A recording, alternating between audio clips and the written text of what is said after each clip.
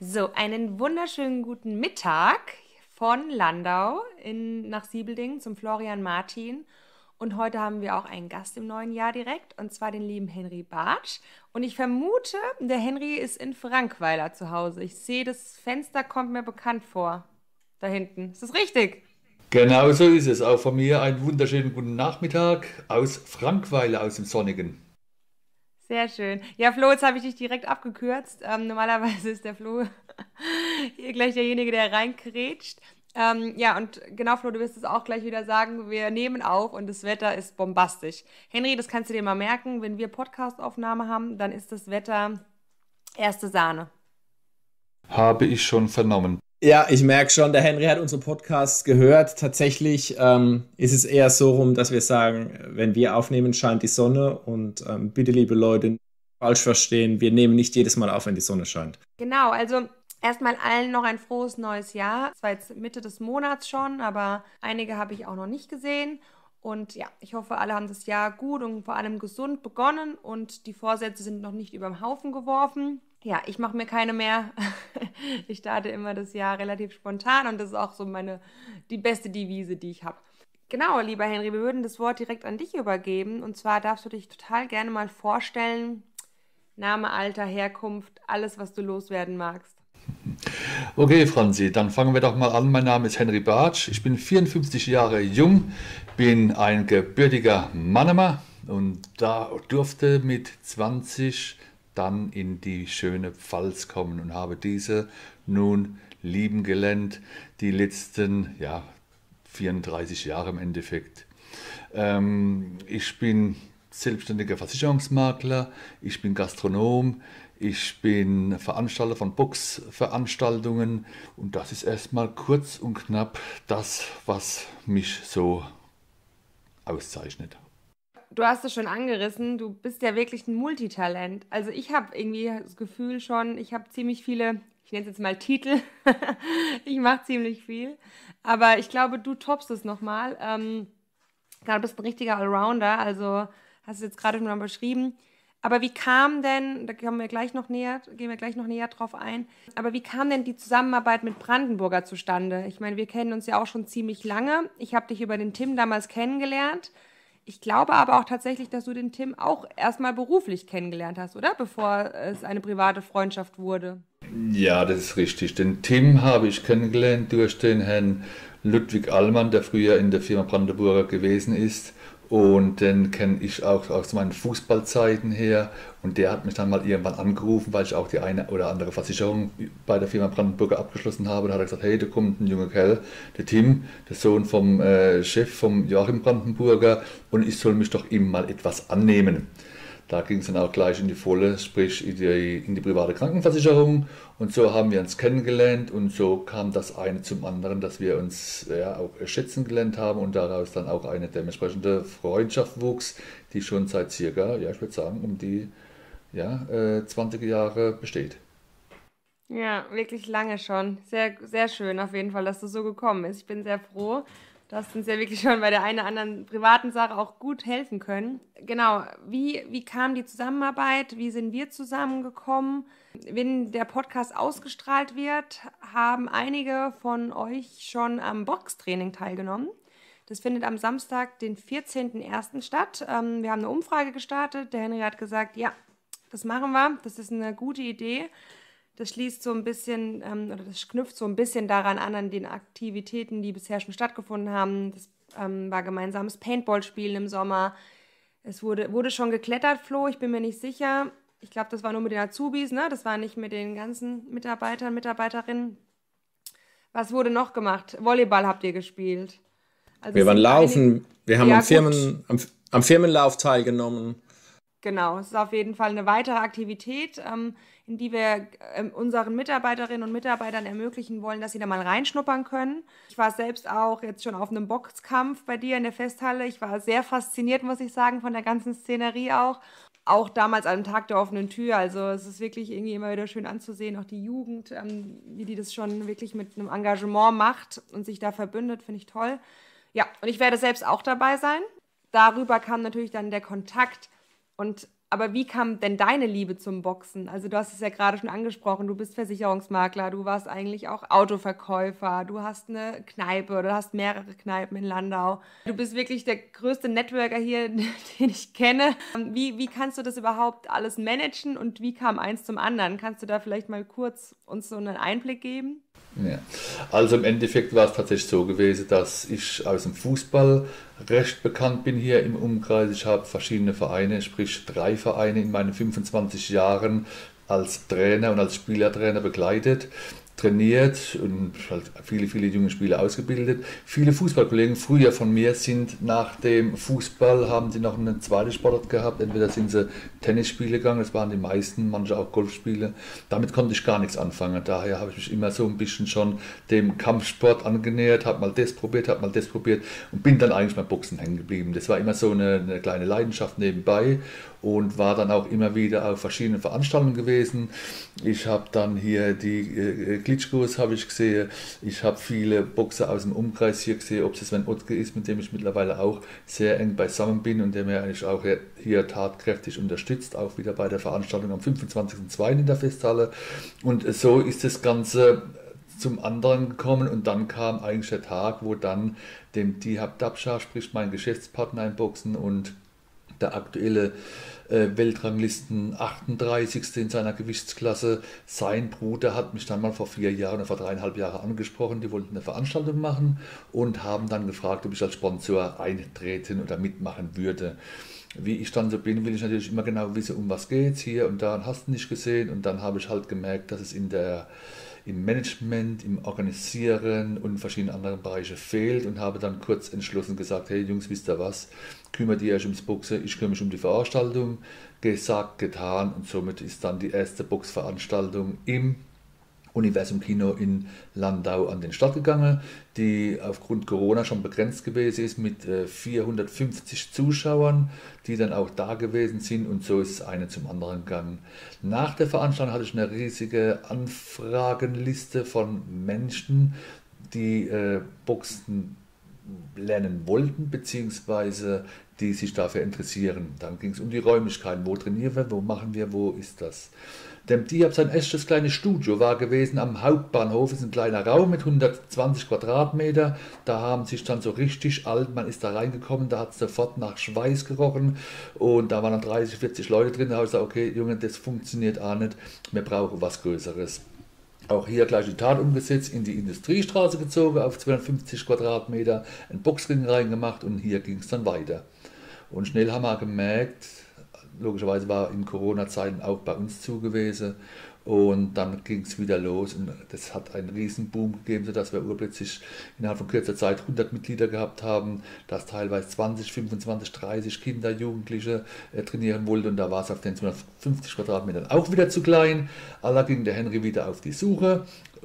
Aufgrund dessen, dass er tatsächlich ein gutes Netzwerk hat, bin ich dann an äh, Marcel Sponheimer, Dieter Wieser, das sind die Betreiber von der Almhütte, von der Kletterhalle, von Inhaber des, der Gendarme Diskothek, des Gebäudes, äh, bin ich an die gegangen und die haben mir gesagt, hey Henry, ich habe da hinten was.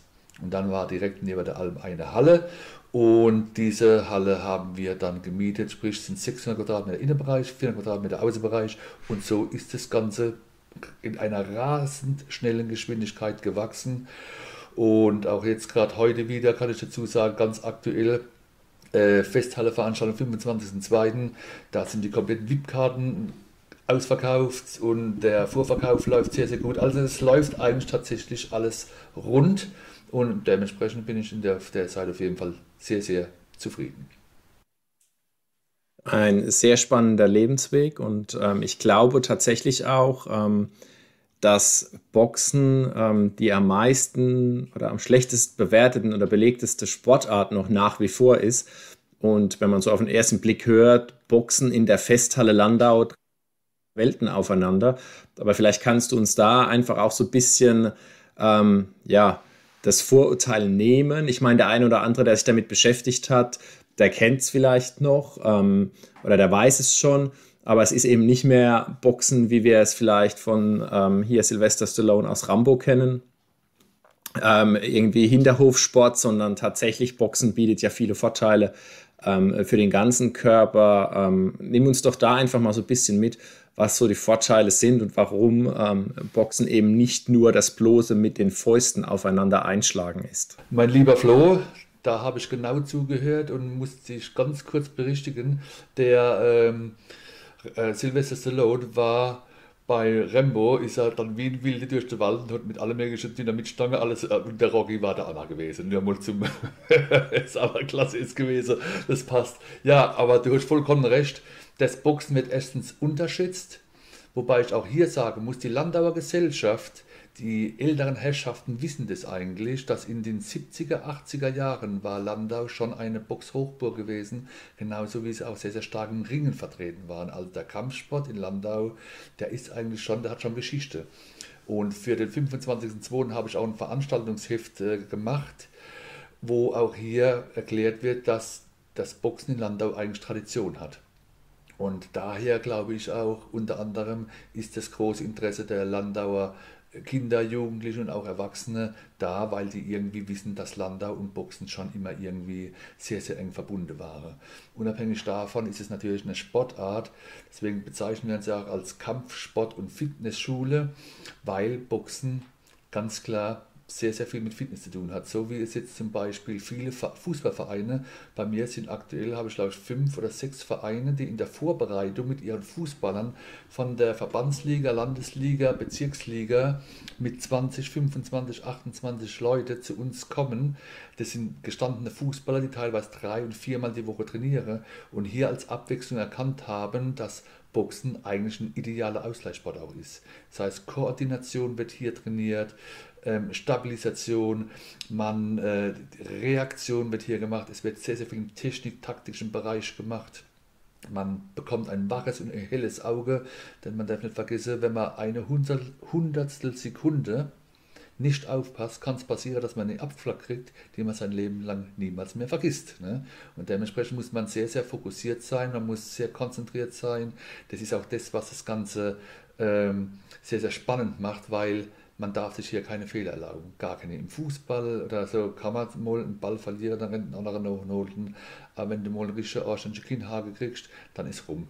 Und dementsprechend wird man darauf vorbereitet, dass man sich sehr, sehr konzentrieren muss. Man muss konditionsstark sein. So, eine, so ein Titelkampf geht zum Beispiel über zwölf Runden, a drei Minuten.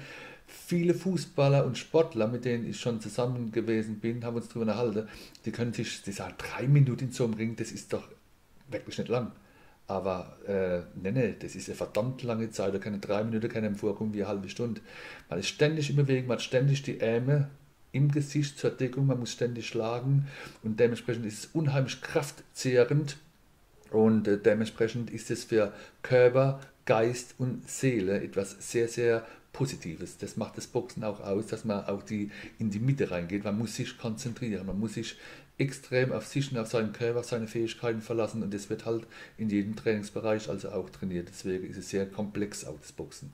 Ja, sehr ausführliche Antwort, vielen Dank. Ähm, das mit der Boxhistorie aus Landau, das wusste ich tatsächlich auch noch nicht. Ähm, und ich bin ja der einzige gebürtige Landauer von uns dreien hier. Ähm, also ich freue mich da schon auf die, äh, auf die Zeitschrift. Wenn ich die dann mal in der Hand habe, da äh, kann ich mich dementsprechend dann sicherlich auch noch ein äh, bisschen weiter bilden und weiter informieren über, über unsere Stadt.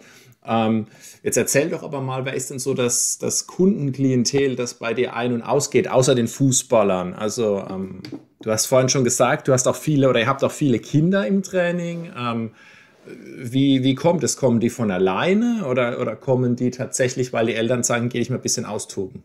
Auch interessant. Das Klientel ist tatsächlich von A bis Z. Wir haben hier äh, den Bundespolizisten, wir haben selbstständige Unternehmer, wir haben von der Landauer Polizei auch einige da, wir haben einfach äh, Freizeitboxer, die eigentlich schon immer was das eine oder andere ausprobiert haben äh, und dann beim Boxer hängen geblieben sind oder festgestellt haben, hey, das passt. Äh, unser ältestes Mitglied kann ich auch ruhig sagen, das ist der Gerd. Der ist jetzt seit aktuell 58 Jahre, ist seit zwei Jahren dabei, trainiert in der Woche drei bis vier Mal, hat sogar schon einen kleinen Aufbaukampf gehabt, den wollte er auch selber haben. Äh, der Mann ist selbstständig. Ja. Ich habe einen Physiotherapeuten in der, wo bei uns trainiere. Ich habe eigentlich alles Studenten, Studentinnen und jetzt kommen wir auf den Punkt, was die Jugend betrifft, was mir eigentlich immer schon am Herzen gelegen war. Ich habe in vielen, vielen Gesprächen, mache das auch selbst, die Eltern rufen mich an und sagen, mein kleiner Philipp will unbedingt ähm, trainiere gehe, dann frage ich, wie alt das ist, dann sagt er sechs Jahre oder sieben Jahre. Es geht bei uns ab sechs Jahre los und da ist mir sehr, sehr wichtig, dass dann die Eltern da sind, ich mit den Eltern das Gespräch führe im Beisein des Kindes, ob äh, männlich oder weiblich. Und dann frage ich oftmals, was ist oftmals, sondern immer, wieso, warum möchte der kleine Buchse, kommt es von ihm, kommt es von den Eltern? Und dann geht es eigentlich in das Gespräch rein, dass viele Eltern hergehen und sagen, äh, Selbstvertrauen. Er ist daheim so ruhig, in der Schule ein bisschen, ja, und dann vielleicht äh, einfach mal hier das Selbstvertrauen etwas zu stärken, was ein guter Weg ist, auch im Boxen. Kind, auch Kinder haben Aggressionen in sich drin, leichte, die müssen auch mal raus, die wissen auch nicht, wo das Ventil ist. Und wenn du dann drei, vier Mal mit voller Wucht gegen so einen Sandsack schlage, dann merken die, dass es dir nicht gefällt, dass es dir gut tut. Mal das eine. Das nächste ist, dann kommen Kinder, äh, wo die Eltern oder die Eltern sagen dann, meine Tochter ist 11, ist 12, die geht jetzt schon alle ins Kino, muss Sonntagmittags ins Schlafen halt überall immer irgendwo ein paar Verrückte rum. Und die haben da einfach teilweise Angst. Und wollen einfach haben, dass die Kinder wissen, wenn sie mal in eine Situation kommen sollten, dass sie einfach wissen, wie sie sich wehren können. Man muss auch dazu sagen, da sind wir auch wieder beim Klischee, Boxen ist nicht einfach eine, eine Schlägereigeschichte, darum geht es gar nicht, sondern es geht tatsächlich darum, da lege ich großen Wert drauf, auch mit dem Trainerstab, dass die Kinder und die Jugendlichen gesagt bekommen immer wieder, dass es wichtig ist zu wissen, dass wenn mein Körper, mein Leib, meine Seele, meine Familie irgendwie in Gefahr sind, dass ich weiß, wie ich hier helfen kann und wie ich mich wehren kann. Und das lernt mein Boxer sehr schnell, gezielte Schläge, schnelle Schläge, man sieht dem anderen ins Gesicht gegenüber und merkt genau, wie denn seine Augen gehen, man merkt genau, wie er, man hat es, man bekommt ein Gefühl rein, äh, ob das jemand jetzt bloß hier äh, dicke Backe macht oder ob jemand wirklich bereit ist, hier mal zuzuschlagen. Dann weiß man, erstmal, wie man ausweichen tut und man weiß natürlich auch, wie man den Konter setzt. Und das sind dann diese Dinge, wenn man das weiß, dann läuft man auch ganz anders da, äh, durch die Stadt. Brust raus, Kopf hoch, man ist einfach selbstsicherer, man hat ein höheres Selbstbewusstsein und das sind dann eigentlich schon die Dinge, die wir dann auch hier rüberbringen und das ist das, was also die Eltern auch für ihre Kinder im Großen und Ganzen wollen. Wir haben auch, jetzt kommt die nächste Gruppe, also die Jugendabteilung, wo dann von 11 bis 16 hochgeht. Da kommen natürlich schon auch welche rein, die sagen, ja, ich will Box lernen. Mein Klassenkamerad, der tut mich immer schubsen, der regt mich auf, der ärgert mich, dann will ich mir einen schlagen. Dann sage ich dann auch ganz klar, okay, dann machen wir es jetzt so, dann gehe ich da vor die Tür wieder raus, gehe ich nach Hause, überlegst du nochmal, was du eben gerade zu mir gesagt hast. Boxen ist nicht dafür, dass du irgendeinen Neuschlagen tust, bloß weil du auf den Keks geht, sondern da geht es um ganz andere Sachen und kommt dann wieder, wenn du es vielleicht verstanden hast. So einfach ist es. Da hast du mir jetzt gerade meine erste Frage, meine erste Nachfrage ähm, schon abgenommen, nämlich das Thema, was ist denn, wenn das Selbstvertrauen da dann überschlägt und es tatsächlich nicht mehr darum geht, sich selbst ähm, zu erwehren und zu verteidigen. Ähm, das hast du ja schon schön beantwortet. Die zweite Frage, die ähm, mich so brennend interessiert noch oder die, die mir noch so durch den Kopf geht, ist tatsächlich bei vielen Sportarten ist es ja so, ich trainiere für oder auf ein Ziel hin. Also beim Fußball trainiere ich auf ein Fußballspiel hin, beim Tennis das gleiche, beim Laufen habe ich ein Ziel, ich will ähm, einen 10 Kilometer Lauf absolvieren oder der Herr Müller hat uns das ja das letzte Mal erzählt, er ist Marathonläufer, also ich habe immer ein Ziel vor Augen. Muss beim Boxen zwingend das Ziel sein, einen Kampf zu absolvieren? Also das wird ist in der Regel überhaupt das Ziel, das ist etwas, wo mit der Zeit reift. Das heißt, derjenige, wo kommt, möchte erst einmal die Kampfsportart, er möchte erst einmal das Boxen erlernen. Das fängt mit Dingen an wie Seilspringen, die einfachsten Sachen, das fängt mit leichten Fußbewegungen an, das, man kommt langsam in die Materie rein und wenn man dann feststellt, dass es Spaß macht, dann kriegt man auch nochmal die Boxhandschuhe an. Dann geht man auch mal in ein leichtes Sparring rein und so wird man langsam an das Ganze dran geführt und die Person an sich selbst entscheidet von sich aus selbst und sagt, hey, ich will einfach mal einen Kampf haben oder ich will mal ein richtiges Sparring machen. Deswegen habe ich auch hier Kooperation mit guten Freunden von mir aus der Kampfsportszene, ob es Mach 1 in Karlsruhe ist mit Dominik Junge, der momentan äh, Vincent Feigenbutz trainiert oder äh, die Melina Maibaum, die Yves Barz, wo ich auch persönlich noch manage, du, die, mit denen trainiert er und da tun wir uns gegenseitig austauschen. Da kann dann so ein Interessent, wo sagt, ich will mal richtig Sparring machen, den du ich dann mit dahin nehmen oder zum äh, zum Frankie nach Kaiserslautern oder die kommen mit ein paar her und so kommt man langsam rein. Kann aber auch ganz klar dazu sagen, von unseren aktuell 153 Mitgliedern, die wir haben, sind hier sechs Profis da am Start. Wir haben vier Nachwuchskämpfer, die auch bereit, die schon Amateurkämpfe gemacht haben. Und in den Startlöchern habe ich jetzt festgestellt, stehen noch so drei, vier Jugendliche, die tatsächlich in der Woche dreimal bei den Jugendlichen trainieren und zweimal noch bei den Erwachsenen, weil sie einfach sagen, Henry, mein Ziel ist es, tatsächlich mal in einem Jahr oder in zwei meinen echten Amateurkampf zu machen.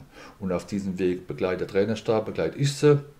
Und da gehört es dann tatsächlich dazu, auch zu erkennen, ist es jemand, der erstens das Potenzial hat, zweitens den Wille hat, denn der ist unabdingbar in diesem Sport und auch die, diese Härte hat. Ja. Man darf nicht vergessen, wir versuchen alle jeden Tag, wenn wir unterwegs sind, ob wir jetzt an der Theke sind, ein Bierchen oder zwei trinken, auf dem Weihfest sind oder sonst irgendwo, wollen wir ja eigentlich alle Ärger aus dem Weg gehen. Ne. Wir wollen alle keinen Streit haben, wir wollen alle nur unsere Ruhe haben.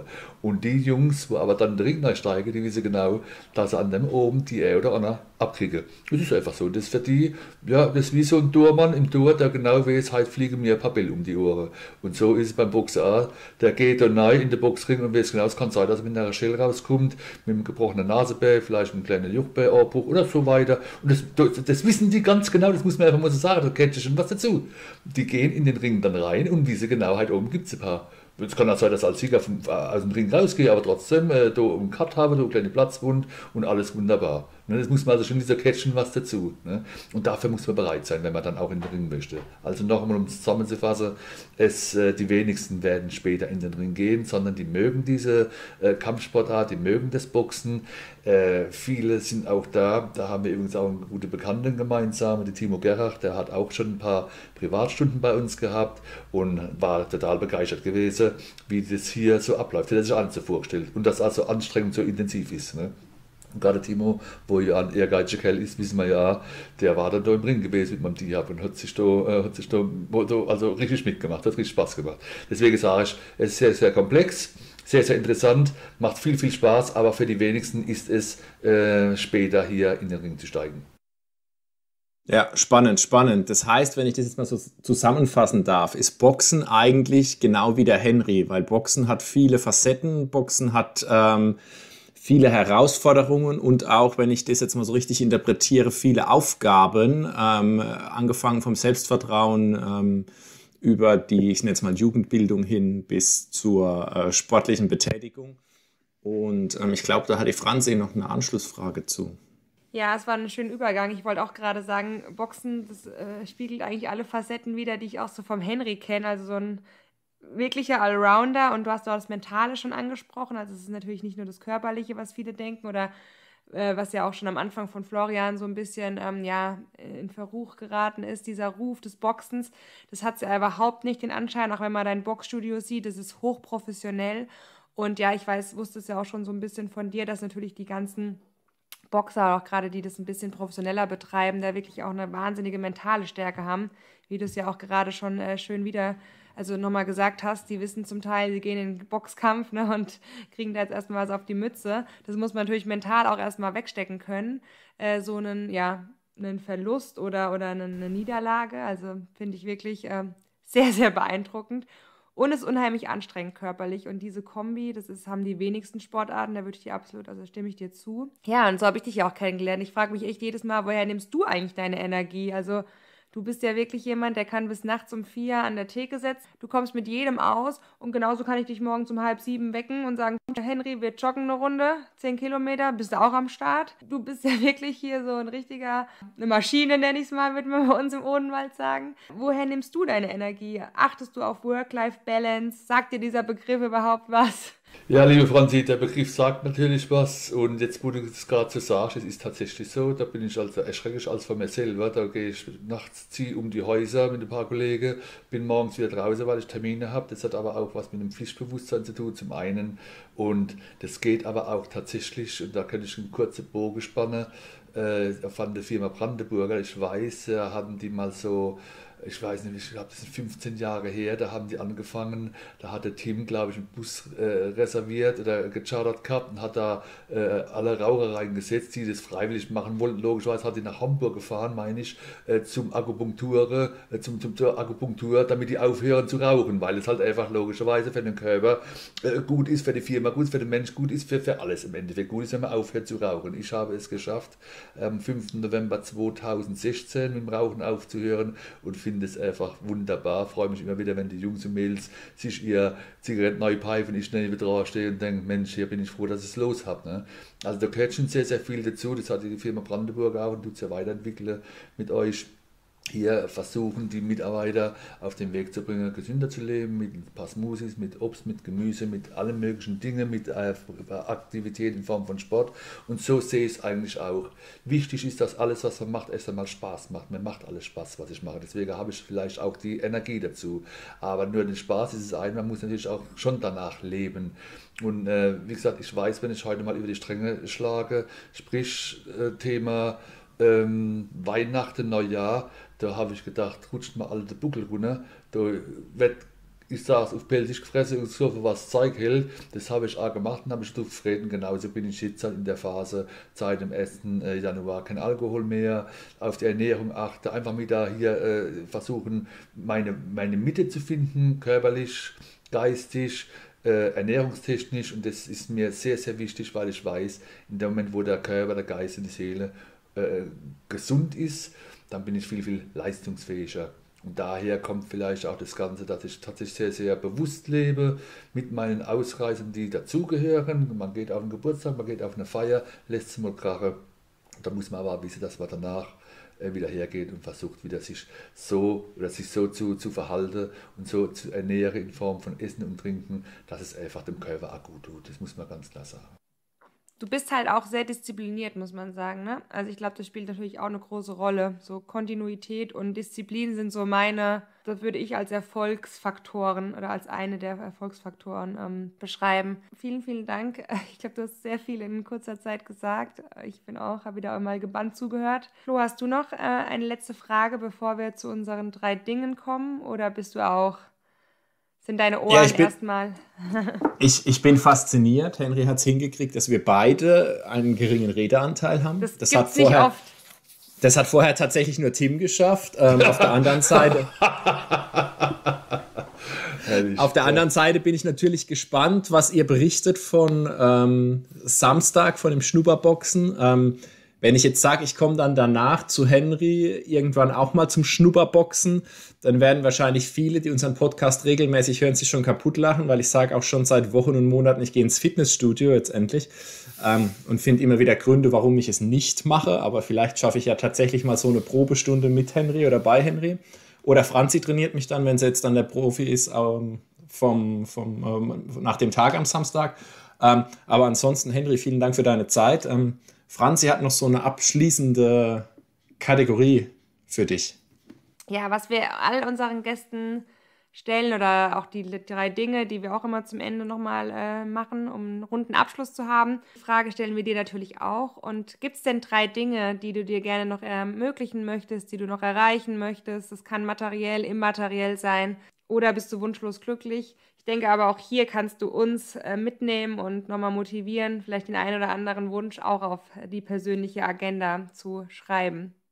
Also, Fakt ist auf jeden Fall, dass so wie es ist, bin ich tatsächlich zufrieden und ich muss auch sagen, ähm, dass es sehr, sehr wichtig ist, mit dem, was man hat, zufrieden zu sein. Ich kann das nur so sagen, gerade aufgrund, dass ich halt tatsächlich jeden Tag mit vielen, vielen Menschen zusammen bin, stelle ich immer mehr fest, wie viele Menschen eigentlich ähm, nicht wissen, wie gut es denn eigentlich geht. Ja, da werden über die kleinsten Dinge wird hier ein Riesentheater gemacht und aufgeregt, dass der Puls auf 200 geht, wo ich schon denke, Mensch, da ist doch bloß ein Sack Reis umgefallen, bleib doch einmal locker ne, und du dich aufs Wesentliche konzentrieren. Das muss so ne, die eine Geschichte. Wenn es darum geht, die drei Dinge, die man noch erreichen möchte, gehört natürlich schon zum Beispiel dazu, dass es ja mein neuestes Projekt ist mit dem Boxen, das ich jetzt seit vier Jahren vorantreibe. Äh, an die 70er, 80er Jahre der Stadt Landau das Boxen wieder so hinzubringen, dass es tatsächlich, und ich muss noch dazu sagen, es war früher tatsächlich einmal im Monat in der Ziveger-Halle, die abgerissen wurde, war einmal im Monat ein Boxkampf gewesen, da waren 400, 500 Zuschauer jedes, äh, jede, bei jeder Veranstaltung da gewesen. Und äh, ich habe mit vielen, vielen älteren Herrschaften, die diese Zeit noch kennen, gesprochen und die hat man dann gemerkt, die Begeisterung war dann tatsächlich hier noch im, im, im, Gesicht gestanden. Und das möchte ich eigentlich wieder bewegen. Ich möchte wieder dahin kommen mit vielen, vielen äh, guten Leuten, die mich umgeben und mich da unterstützen möchten. Und dies auch tun, dass wir das Boxen wieder wirklich nicht nur regional, sondern auch überregional wieder in die richtige Spur reinbringen. Das ist auf jeden Fall das zum einen.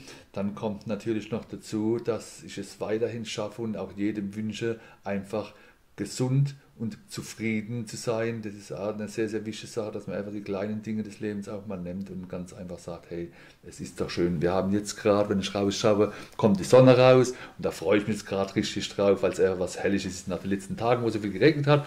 Also auch mal auf die kleinen Dinge äh, sich zu freuen. Und was habe ich noch? Ja, ich habe noch die zwei äh, gastronomischen Betriebe in Landau, die mir sehr, sehr viel Spaß machen. Ich bin gerade dabei, hier einen, einen, Übergang zu finden. Das heißt, hier habe ich eine Geschäftsführerin, da lerne ich jemanden an, um hier diese Verantwortung etwas abzugeben, um mich dann auf andere Dinge, sprich Familie, Freunde, auf mich selbst, auf meinen Sport und so weiter, etwas mehr zu konzentrieren das sind eigentlich so die, die, die ganzen Dinge, wo mir jetzt gerade so im Kopf rumgehen. Es waren jetzt, glaube ich, sogar tatsächlich drei Dinge. Und das ist es eigentlich, glaube ich. Ja, gesund sein, zufrieden sein, mit kleinen Dingen zurechtfinden, die kleinen Schritte nach vorne gehen. Wie gesagt, hier im Boxstudio anfangen, das ist ja immer das, man, man sagt A, dann muss man auch B sagen, ich ziehe das Ding durch und hoffe, dass es erfolgreich wird. Und wir sind hier auf einem richtig guten Weg und alles gut. Sehr schön. Also ich gebe dir absolut recht. Mit den kleinen Dingen, an sich den kleinen Dingen erfreuen. Das lernt man auch wieder, wenn man Kinder hat, vor allem. Ja. Mhm. ähm, ja, und mit dem okay. zufrieden und mit dem zufrieden sein, was man hat, gebe ich dir absolut recht. Da kann ich mich auch noch ein bisschen üben, ein bisschen besser üben. Vielen, vielen Dank, lieber Henry. Also es hat mir sehr viel Freude gemacht mit dir. Ich war, war mir klar, dass es ein super Podcast wird. Ähm, danke, dass du dir die Zeit genommen hast. Ich weiß, deine Zeit ist kostbar. und es war spontan. Wir haben es jetzt relativ spontan abgewickelt, das Ganze. Ähm, ich übergebe das letzte Wort an euch und ja, freue mich auf das Boxtraining und ähm, freue mich, wenn wir uns wiedersehen. Ganz liebe Grüße aus Landau. Wunderbar, dann darf ich noch mal kurz hier sagen, auch von meiner Seite her vielen, vielen Dank. So spontan wie es jetzt auch gewesen hat, richtig Spaß gemacht. Bin dafür auch immer wieder zu haben und die Firma Brandenburger weiß auch natürlich, wenn sie mich braucht, bin ich für euch da keine Frage. Deswegen hat es viel, viel Spaß gemacht. Dankeschön an euch drei. Ja, weil ich sehe ja noch einen kleinen jungen Mann hier, ja, der Nachwuchs-Podcastler hier. Ne? Alles gut, vielen Dank. Ja, von meiner Seite danke für deine Zeit, Henry. A, natürlich für heute. Ähm, B, sage ich schon mal danke für die Zeit, die du dir nimmst im, im, mit dem Boxtraining. Ähm, und ich bin gespannt, was berichtet wird. Ähm, ich bin gespannt, wann ich es dann schaffe. Und in diesem Sinne ähm, würde ich sagen, wir entlassen uns alle mal gegenseitig in die Sonne, ähm, setzen uns vielleicht auf die Terrasse raus und ähm, trinken am Wochenende das ein oder andere Glas